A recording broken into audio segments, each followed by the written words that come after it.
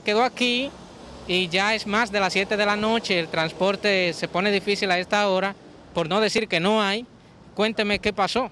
Eh, precisamente salí yo del trabajo a las 5 de la tarde y cuando me dirijo hacia acá encuentro una fila que está desde la Núñez, de la entrada del metro, doblando hasta la otra esquina. Eh, esto es un problema. El toque de queda tiene a todo el mundo, a toda la empresa fuera de órbita, como se dice.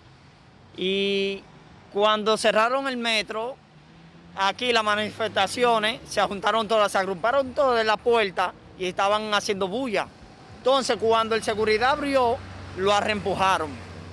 Y entran molotes de gente que tuvo que ponerse un policía ahí para que puedan cerrar la puerta. Entonces nos quedamos un grupo afuera porque no nos dio el tiempo a entrar. Y nada, y ahora mismo me quedé aquí yo.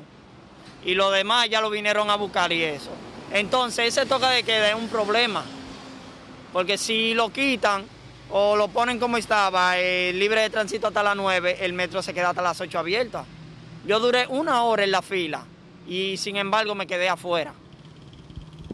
Y entonces, ¿por qué no te fuiste en otro vehículo? Ya que el metro había cerrado, todavía había espacio. Eh, disculpa, eh, porque estaba congestionada. Entonces, al yo eh, pararme en la estación, esperar un vehículo, estaban llenos y me agarró el toque de queda aquí. ¿Y ahora cómo lo hará para marcharte a casa? Bueno, yo llamé a mi supervisor y él se dirige hacia acá para llevarme a mi casa. ¿Tú tienes permiso de circulación de todos modos? Sí, tengo permiso de circulación en la calle. ¿No va a caer preso? No, gracias a Dios no, por eso me salvé por ese lado.